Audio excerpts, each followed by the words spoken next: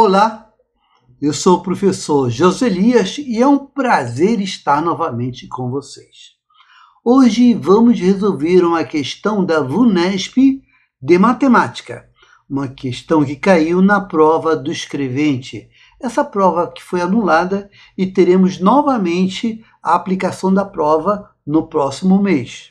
Então, alguns alunos enviaram essa dúvida que caiu na prova do escrevente. Então é uma boa questão para você tentar fazer e guardar o raciocínio que poderá cair novamente uma questão com o mesmo raciocínio. Vamos resolver. Eu quero te mostrar como eu resolvo essa questão. Olha só. Existem várias soluções.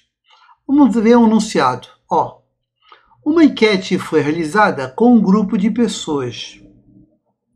Perguntou-se se elas já haviam visitado as cidades Ouro Preto, Cabo Frio e Vila Velha. Alguns resultados são apresentados a seguir. Olhe o primeiro resultado, leia com atenção. Sete pessoas que já haviam visitado as três cidades, mesmo número de pessoas que visitaram apenas Cabo Frio, cidade visitada por 20 dessas pessoas. Quer dizer, está dizendo o seguinte: ó, sete pessoas já haviam visitado as três cidades. O mesmo número de, número de pessoas que visitaram apenas Cabo Frio. Então, a quantidade de pessoas que visitaram a, as três cidades é a mesma quantidade de pessoas que visitaram apenas Cabo Frio. Apenas Cabo Frio, tá ok? Aí ele fala cidade visitada por 20 dessas pessoas. Quer dizer que Cabo Frio foi visitado no total de 20 pessoas. Aí vem a segunda informação. Das 13 pessoas que visitaram Ouro Preto, 13 pessoas visitaram Ouro Preto. Apenas uma delas havia visitado apenas Ouro Preto.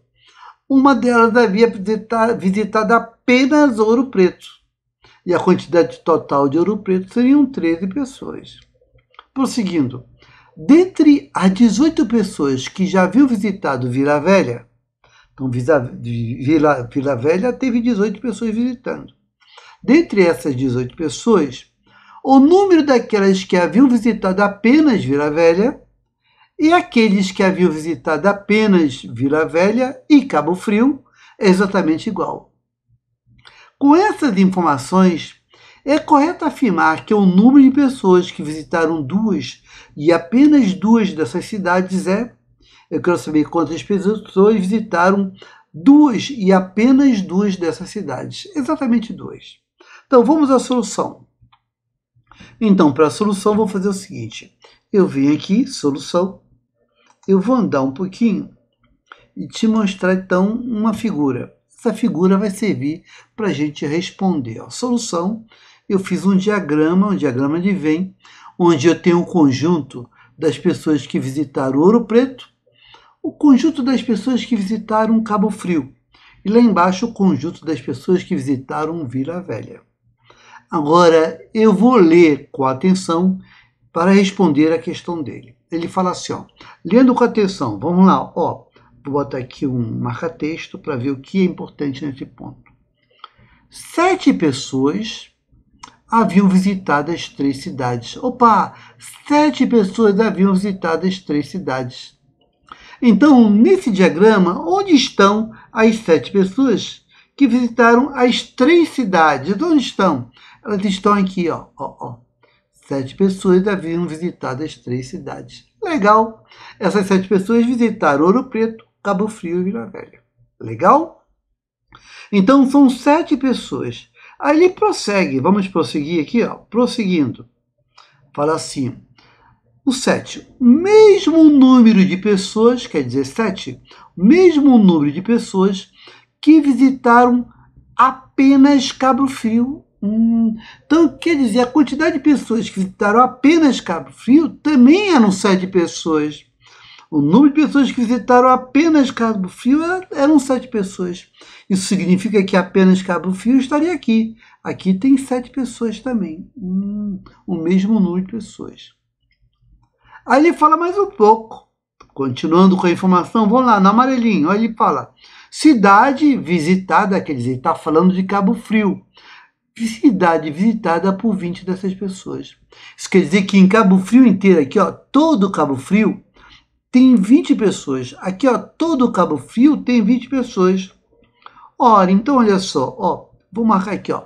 Todo Cabo Frio, essa bolinha toda aqui, ó, esta bolinha. Aqui no total tem 20 pessoas. Já botei aquelas 7, aquelas 7, já coloquei 14 pessoas lá. Se no total tem 20 pessoas, já tem 14 marcado lá, ó, que é 7 e 7. Quantos estão faltando? Estão faltando 6. Essas seis pessoas estariam onde? De Cabo Frio, onde? Seriam as pessoas que teriam visitado apenas Vila Velha e Cabo Frio, que estaria aqui, ó. Ah. E aquelas pessoas que visitaram apenas Ouro Preto e Cabo Frio. Bem, se são 20 já tem 14, faltam 6. Faltam 6. Então, nessas duas partes, faltam 6. Então, eu vou fazer o seguinte, ó. Apenas Cabo Frio e Vila Velha eu vou chamar de X pessoas. Portanto, lá em cima, em apenas Ouro Preto e Cabo Frio, vai ter 6 menos aquelas X. Ah, legal? Repare que se você somar, esse total dá 20 pessoas, tá? em Cabo Frio. Beleza. Agora vamos lá para Ouro Preto. Vamos lá, Ouro Preto. Então, continuando a leitura aqui, ó. Das 13 pessoas, das 13 pessoas que visitaram Ouro Preto, então 13 pessoas visitaram Ouro Preto. Apenas uma delas havia visitado apenas Ouro Preto. Então, uma delas, exatamente uma delas, visitou apenas Ouro Preto. Isso significa o quê? Significa que ali, no conjunto de Ouro Preto, a quantidade de pessoas que visitou apenas Ouro Preto seria uma pessoa, apenas uma delas. Então aqui tem uma. Hum. Mas ele falou que no total, em Ouro Preto, são 13 pessoas. No total, são 13 pessoas. Então, essa bolinha de ouro preto aqui, ó, que eu estou marcando aqui, ó, essa bolinha aqui tem que ter aqui dentro 13 pessoas. E ouro preto tem que ter 13. Ouro preto tem que ter 13. Ah, já tem quanto lá? Ó? Tem 1 mais 7 dá 8. Com 6 dá 14 menos x. Tem 14 menos x. Tem que dar 13. Então eu pergunto quantas pessoas estariam aqui, ó, neste lugar aqui, ó. Ouro Preto, apenas Ouro Preto e Vila Velha. Aqui, teria quantos? Terias 13 menos 1, menos 7, menos 6, menos x. Ah, então vamos lá, são 13 pessoas. Eu vou tirar 1, 7 e 6 e o menos x. Bem, quando eu fizer 13 menos menos x, vai dar mais x, tá? Quando eu fizer 13 menos 1, vai ficar 12. 12 menos 6 vai ficar 6. E 6 menos 7 vai ficar menos 1. Então, nessa parte aqui, ó, apenas Ouro Preto e Vila Velha tem x menos 1, tem x menos 1. Bacana, né? Agora, prosseguindo mais um pouco, prosseguindo mais um pouco, vamos lá. É, ele fala assim, ó, vou pintar, botar em amarelinho, para a gente ter um marca-texto. Dentre as 18 pessoas que haviam visitado Vila Velha, então aqui em Vila Velha o total dá 18 pessoas.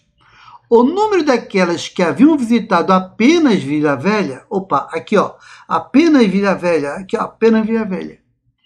É, e daquelas que haviam visitado apenas Vila Velha e Cabo Frio, ó, apenas Vila Velha e Cabo Frio é X.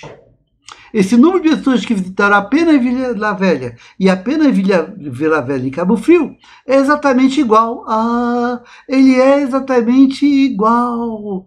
Então, a quantidade de pessoas que visitaram ah, apenas Vila Velha é igual à quantidade de pessoas que visitaram apenas Vila Velha e Cabo Frio. Então, se aqui é X, aqui apenas Vila Velha, Vila Velha também será X. Aqui também é X. Fechou? Fechou. Mas ele informou isso aqui, ó, ó, olha aqui, ó.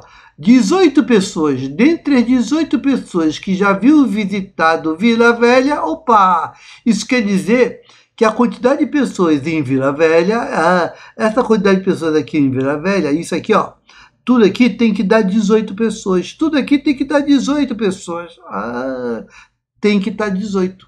Então vamos somar Vila Velha e ver se dá 18. Vamos somar. Quando eu somar, eu vou somar, por exemplo, essas x menos 1.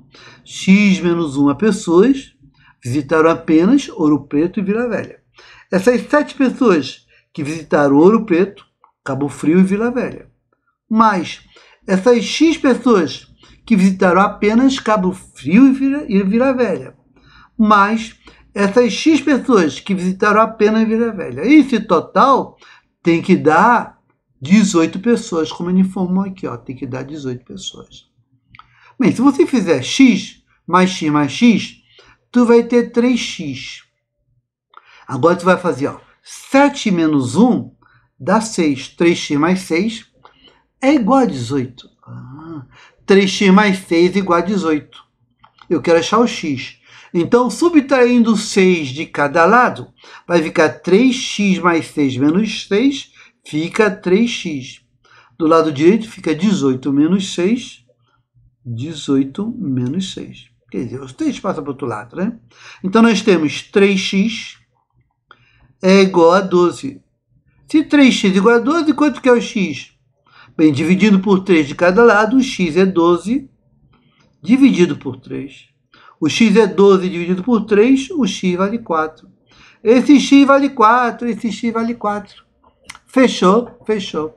O x vale 4, o x vale 4. Então agora vamos preencher ali, ó. vamos preencher. Eu já sei que o x é 4. Aí eu vou colocar aqui uma corzinha vermelha para chamar atenção. Esse x aqui, ó, esse x é 4. Esse x aqui é 4. Aqui tu tem 6 menos x. 6 menos 4 aqui é 2. E aqui tu tem x menos 1. 4 menos 1 é 3. A pergunta dele, olha a pergunta, ó. Com essa informação, é correto afirmar que o número de pessoas que visitaram, ó, que visitaram duas e apenas duas, duas e apenas duas dessas cidades é? Então, resposta: o número de pessoas que visitaram duas e apenas duas dessas cidades. Bem, visitaram apenas duas, exatamente duas. Seria aqui, ó, essas duas pessoas aqui que visitaram apenas Ouro Preto e Cabo Frio. Mas essas três aqui, que visitaram apenas Ouro Preto e Vila Velha. Mas essas quatro aqui, ó, que visitaram apenas Cabo Frio e Vila Velha. Então seria esse 2 mais esse 3 mais esse 4. 2 mais 3 dá 5, com 4 dá 9. Teríamos 9 pessoas visitaram exatamente duas das cidades, nove pessoas, tu vai marcar como alternativa correta a alternativa que surge na letra E. Resposta: alternativa E. Nove pessoas. É a letra E. Na prova de matemática do escrevente, uma questão de teoria dos conjuntos, teoria dos conjuntos, olha só, teoria dos conjuntos, seria 3 mais 2 mais 4, exatamente duas cidades visitadas. Bem, esse tipo de questão vai aparecer de novo na próxima prova. Ah, é questão, essa questão é muito frequente na prova da VUNESP. Ela cai tanto na parte de matemática, quanto também na, na parte de raciocínio lógico, beleza? Se você teve dúvida, aí eu te recomendo um curso de raciocínio lógico que envolva matemática. Eu acabei de lançar um site novo, que o nome dele é www, você tem que botar www.professorjoselias.com.br. Lá tem um curso de raciocínio lógico justamente para o escrevente, que serve também para o oficial de justiça do TJ. E tem um curso de matemática completo da VUNESP e tem um outro curso de provas resolvidas da VUNESP. Se você precisar, dá uma olhadinha. Eu vou deixar o link desse curso aqui embaixo, né? Aqui embaixo nos comentários. Visita lá Visita lá, se você gostar, me escreve e tal, clica e pode adquirir o curso. O curso vale a pena, é um curso excelente, tá ok?